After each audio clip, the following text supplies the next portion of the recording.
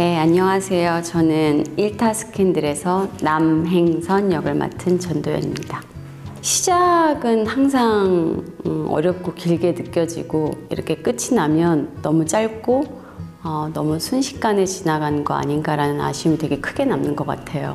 1타 스캔들의 남행선은 되게 하고 싶었던 그런 밝은 캐릭터이고 밝은 이야기라 너무너무 오래 기다렸다가 만난 작품이었어요. 근데 대본을 받는 순간 이걸 내가 할 수 있을까라는 의심이 들기 시작했고 자신이 없어지기 시작을 했어요. 근데 사실은 촬영을 계속적으로 하다 보면 어느 순간 제가 남행선이 되어 있고 그래서 사실은 더 머물러 있고 싶은데 이렇게 나오게 되는 순간 을 맞이하게 되는 것 같아요.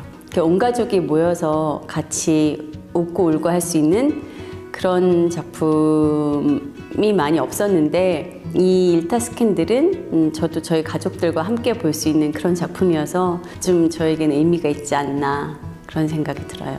일타 스캔들을 시청해주신 시청자 여러분 많은 사랑 그리고 많은 관심 주셔서 너무 감사하고요. 앞으로 또 좋은 작품을 찾아뵙겠습니다. 일타 스캔들 사랑해주셔서 감사합니다.